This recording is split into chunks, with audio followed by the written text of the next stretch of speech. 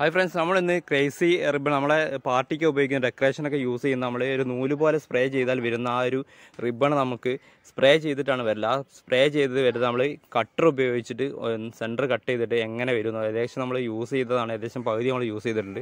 അപ്പോൾ എങ്ങനെയാണെന്ന് നമുക്കറിയില്ല. അതിന്റെ ഉൾവശത്തും നമുക്കൊന്ന് ഈ ഇതുപോലെ നമ്മൾ സ്പ്രേ ചെയ്തിട്ടാണ് നമ്മൾ സാധാരണ ചെയ്യൽ. അപ്പോൾ സ്പ്രേ ചെയ്ത് കഴിഞ്ഞാൽ ഒരു നൂൽ പോലെ വരും. അപ്പോൾ ഡെക്കറേഷൻ ചെയ്ത് കഴിഞ്ഞാൽ നൂൽ നല്ല അതിൽ ചെയ്ത് കഴിഞ്ഞാൽ ആ നൂൽ മൊത്തത്തിൽ ആ ചുമരിന്റെ മുകളിൽ എവിടെയാണ് ആ ഡെക്കറേഷൻ ചെയ്ത് അവിടെ പശ പോലെ പറ്റി വെച്ചിരിക്കും അത് നമ്മൾ ഈ ഒരു കട്ടർ ഉപയോഗിച്ച് നമുക്ക് കട്ട് ചെയ്ത് നോക്കാം.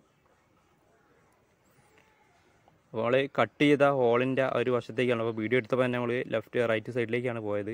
അപ്പോൾ ആ ഒരു ഭാഗത്തെ വ്യൂ കറക്റ്റ് കിട്ടില്ല. അപ്പോൾ ഈ കാണുന്ന ഒരു പീസ് അതിൽ നിന്ന് വന്നതാണ്. അപ്പോൾ നമുക്ക് ഫുള്ളായിട്ട് ഒന്ന് മുറിച്ച് നോക്കാം. അതിന്റെ ഉള്ളിൽ എന്താണെന്ന് നോക്കാം. അത്യാവശ്യം നല്ല ക്വാളിറ്റി ഉള്ളൊരു ഇത് തന്നെയാണ് കാരണം അത്രയും സ്പ്രേയും അതിന്റെ ഇത് വരുന്ന പവർ നമുക്ക് ഇതിൽ നിൽക്കുന്നത് കൊണ്ട് തന്നെ നല്ലൊരു മെറ്റീ മെറ്റീരിയൽ തന്നെയാണ് ഇത് യൂസ് ചെയ്തിരിക്കുന്നത്. അപ്പോൾ ഇതാണ് അങ്ങനെ.